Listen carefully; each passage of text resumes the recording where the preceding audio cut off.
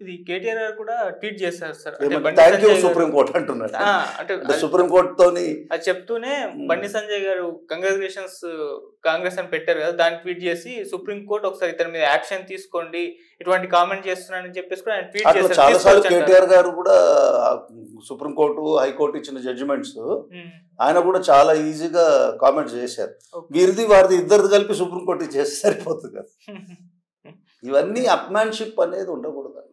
ఎంతవరకు మాట్లాడాలో అంతవరకే మాట్లాడడం నేర్చుకోవాలి ప్రజా జీవితంలో. ఇప్పుడు ఎనఫ్ చాలా ఏళ్ళ నుంచి ఇది ఒక అలవాటు అయిపోయింది మనకు. ఊకదంపుడు ఉపన్యాసాలు సంబంధం లేకుండా మాట్లాడటాలు అవన్నీ వద్దు. పాయింట్ ఏంటి? పాయింట్ వరకు మాట్లాడు. ఆమె బెయిల్ వచ్చింది. ఇన్ వాట్ వే వీళ్ళందరికీ ఏం సంబంధం? కేసు పెట్టిందేమో సిబిఐ ఢిల్లీలో. కేసు. ఇక్కడ కవిత గారు ఏముండేది ఇక్కడ? ముఖ్యమంత్రి గారికి ఏం సంబంధం? జగ్గారెడ్డి గారికి ఏం సంబంధం?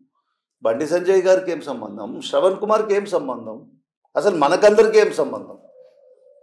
కదా? అంటే చెప్తున్నా జనరల్గా.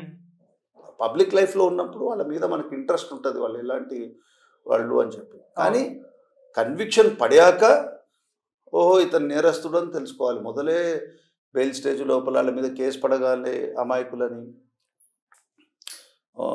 అమాయకులని వాళ్ళు చెప్తారు. అది లేకపోతే నేరస్తుడు ఒక ఒక వర్గం నేరస్తుడు ఉంటుంది ఒక వర్గం అమాయకుడు ఉంటుంది ఓకే. ఏది చెప్తుంది ఏది నిరూపణ చేస్తుంది కోర్టు లోపల సాక్ష్యాధారాలను చెప్పి క్రాస్ ఎగ్జామినేషన్ చేసినాక అప్రిసియేషన్ ఆఫ్ ఎవిడెన్స్ అంటారు. జడ్జి గారు అన్ని తర్జుమా చేసి ఆర్ బేరిజ్ వేసి అన్ని డాక్యుమెంట్స్ని చూసి వీరి రోల్ ఏంటి అని చెప్తారు. లేటెస్ట్ సుప్రీంకోర్టు జడ్జిమెంట్ ఉంది. ఒకవేళ అక్యూజ్డ్ నేరం చేశారంటే చార్జ్ షీట్లోనే ఏ అక్యూజ్డ్ వారి పాత్ర ఏంటి అని చెప్పి చెప్పాలి. ఇప్పుడు ఏంటంటే ఈ కేసు లోపల కాన్స్పిరసీ కుట్ర.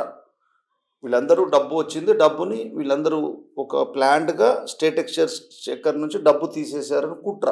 కుట్ర అన్నప్పుడు వాళ్ళ పాత్ర ఏంటనేది స్పష్టంగా ఛార్జ్షీట్లో ఉండాలి.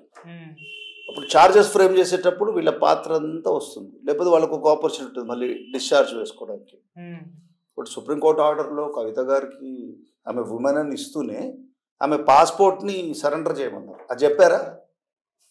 ఎవరైనా టీఆర్ఎస్ నాయకులు చెప్పారా. పాస్పోర్ట్ కవిత గారి పాస్పోర్ట్ని ఉమ్, సి డిపాజిట్ చేయమని చెప్పారని చెప్పారా? అది కూడా చెప్పాలి కదా. మొత్తం ఆర్డర్ ఉన్నప్పుడు మొత్తం చెప్పాలి. అంటే ఏంటి? ఫ్లైట్ రిస్క్ వారు ఎక్కడైనా వెళ్ళిపోతారేమో వెళ్ళరు వారు వెళ్ళిపోతారేమో అని ఆమెకేం పెద్ద ఫేవర్ చేసినట్టు కాకుండా విమెన్ క్రైటీరియాలు ఇచ్చారు. అబ్సల్యూట్లీ ఎవ్వరు కూడా కామెంట్ చేయాల్సిన విషయం కాదు.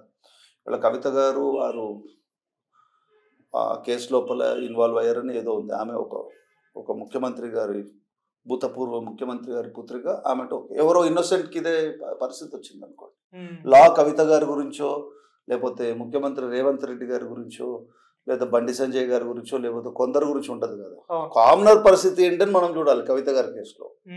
అందుకని సుప్రీంకోర్టు చాలా స్పష్టంగా అబ్జర్వ్ చేసింది. చదువుకున్నోళ్ళు చదువు లేనోళ్ళు ఉమెన్ అని ఏం చెప్పట్లేదు. ఎవరికి వాళ్ళు తోచిన విధంగా చెయ్యకూడదు చెయ్య చేయాలి అనేది మనం చెప్పలేము అనే అబ్జర్వేషన్ అట్లా చెప్తూ ఈ కేసు వరకు ఇలా ఉంది అని చెప్పింది. ఓకే. అంటే చెప్పొచ్చేది ఏంటంటే లాలో ఒక ఒక ఉంటే ఉమెన్ అని ఎక్సెప్షన్ ఉన్నప్పుడు ఉమెన్లో మళ్ళీ ఢిల్లీ హైకోర్టు రిజెక్ట్ చేస్తూ ఈమె బాగా డబ్బున్న ఫ్యామిలీ పొలిటికల్ ఇది ఉంది కాబట్టి ఉమెన్ క్రైటీరియాలో రాదు వేరే ఉమెన్ వచ్చినట్టు రాదు ఈమె అనేది చట్టంలో లేదు కదా ఆ పదం లేదు కాబట్టి నువ్వు ఎలా వచ్చావా కంక్లూజన్కి అని చెప్పి సెటసైడ్ చేసింది ఆర్డర్. అంతేగాని ఇంకా వేరే ఏది కాదు నువ్వేం టెన్షన్ పడకు. ఏం అయిపోలేదు ఇంకేమైనా కండిషన్స్ పెట్టిందా సార్ కవిత గారికి? పాస్పోర్ట్ చెప్పారు ట్రయల్ కోర్టుకి రెగ్యులర్ అటెండ్ కమ్మన్నారు. ఓకే. అంటే ఇప్పుడు ఛార్జ్ షీట్ ఆల్రెడీ ఫైల్ అయిపోయింది. Hmm. ఛార్జ్ షీట్ ఫైల్ అయినాక ఏమవుతుందంటే ఈ మొత్తం డాక్యుమెంట్స్ ఇప్పుడు వీళ్ళ దగ్గర డాక్యుమెంట్స్ లేవు ఎవరి దగ్గర డాక్యుమెంట్స్ లేవు. కేస్ డైరీ లోపల ఆ రికార్డ్స్ అన్నీ ఓన్లీ కోర్ట్స్కే ఆపర్చునిటీ ఉంటుంది చూడడానికి. అది చూసేసి ఇందాక చెప్పాను కదా. ఫార్టీ ఫైవ్ లోపల ఏంటి ఆ రికార్డ్ చూసినాక జడ్జి గారు చెప్పాలి ఈమె. గిల్టీ కాదేమో ఇతను గిల్టీ కాదేమో. ఎలా చెప్తాడు ఆ మెటీరియల్ ఉన్నప్పుడు. So how court will give a certificate at the stage of bail. So ఆ సెక్షనే తప్పు. ఆ సెక్షన్ ఎవరో ఛాలెంజ్ చేస్తే ఎగిరిపోతుంది ఆ సెక్షన్. అప్పుడు వేరే ఇప్పుడు ఇప్పుడు నర్కాటిక్స్ కేసు ఉందనుకో దాంట్లో కూడా ఇట్లా స్ట్రిక్ట్ కండిషన్స్ ఉంటాయి. నేషనల్ వెల్త్ అంతా కొట్టేయడం కదా ఉమ్, కాబట్టి కండిషన్స్ పెట్టారు ఏది కొట్టేసినా ఉమ్, ఏది పెట్టిన condition it should be in accordance with constitutional law లేనప్పుడు స్ట్రక్ డౌన్ అవ్వచ్చు. అది ఉండొచ్చు లేకపోవచ్చు. అది ట్రయల్ కోర్ట్ యొక్క బెయిల్ ఇచ్చే పవర్ని కంట్రోల్ చేయడం కదా. ఓకే ఇప్పుడు కేజ్రీవాల్ అంటే మరి కేజ్రీవాల్ ఏంటి? ఆయన ముఖ్యమంత్రి హోదా. ఆయన అసలు కార్పొరేట్ ఆఫీస్లాగా చేసేసుకోడు జైలుని. Hmm. గ్రేటే ఆయన ఆయన మీద ఉంది. ఇప్పుడు ఆయన ఆయన పవర్ వదిలేశాడు అనుకోండి. పవర్ వదిలేస్తే గవర్నమెంట్ పోతుంది వాళ్ళది. వాళ్ళ బాధ వాళ్ళకు ఉంటుంది. కాబట్టి ఇంతకుముందు ఏమో ఈడీ వస్తుంది తర్వాత సిబిఐ వస్తుంది.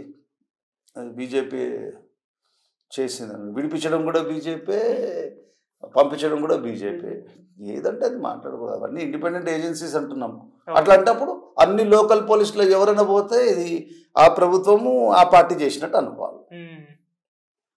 తప్పు. ఆ ఆలోచన తప్పు. అంతవరకే చెప్పగలుగుతాం. సార్ ఇప్పుడు అది కేజ్రీవాల్ గారి పరిస్థితి ఏంటి సార్? ఇద్దరికి బెయిల్ దొరికింది కాబట్టి ఈయన కూడా వాళ్ళిద్దరికి బెయిల్ ఇచ్చారు. నాకు కూడా ఇవ్వండి అనేది పిటిషన్ పెట్టుకోవచ్చు అంటారా పెట్టారు కదా మన హైకోర్టు మొదల్లో ఇంటీరియం బెయిల్ గ్రాంట్ చేశారు. ఓకే. ఇప్పుడు మళ్ళీ రెగ్యులర్ బెయిల్ అడుగుతున్నారు.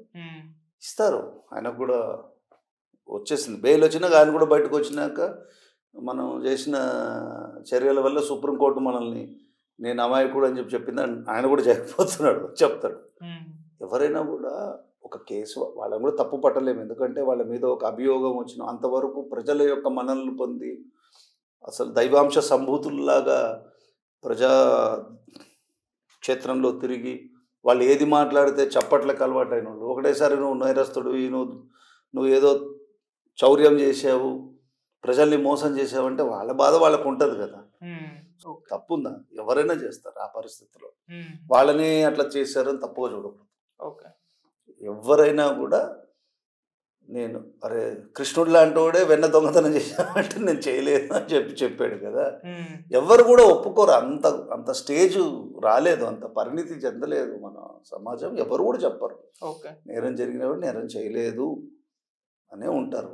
నేరం చేసిరా లేదు సపోజ్ సుప్రీంకోర్టు సుమోటో కంటెంప్ట్ తీసుకుంది అనుకోండి ఇంటర్ఫియరింగ్ ఇన్ ద అడ్మినిస్ట్రేషన్ అంటే సుప్రీంకోర్టు యొక్క పరువును దిగదార్చు దిగ దిగజార్చే విధంగా మాట్లాడారా అనే థింకింగ్లో వస్తే ఉమ్, ఎవరెవరు మాట్లాడిన వాళ్ళందరూ కూడా కంటెంప్ట్లో పోతుంది. కంటెంప్ట్లో కన్విక్షన్ పడింది అనుకోండి ఒకవేళ. ఓకే. రెండు నెలలు పడినా ఒక నెలలు పడినా ఉన్న పదవులు పట్టాలు అవి పోతాయి. కాబట్టి ఎవరినో ఏదో క్రిటిసైజ్ చేయబోయి మనకున్న ఆ, పదవులు ఏమైనా ఉన్నా అవన్నీ పోతాయి కదా. కన్విక్షన్ అయితే యూ కెనాట్ కంటెస్ట్ కదా. అని నేను చెప్తున్నాను. Okay sir thank you so much sir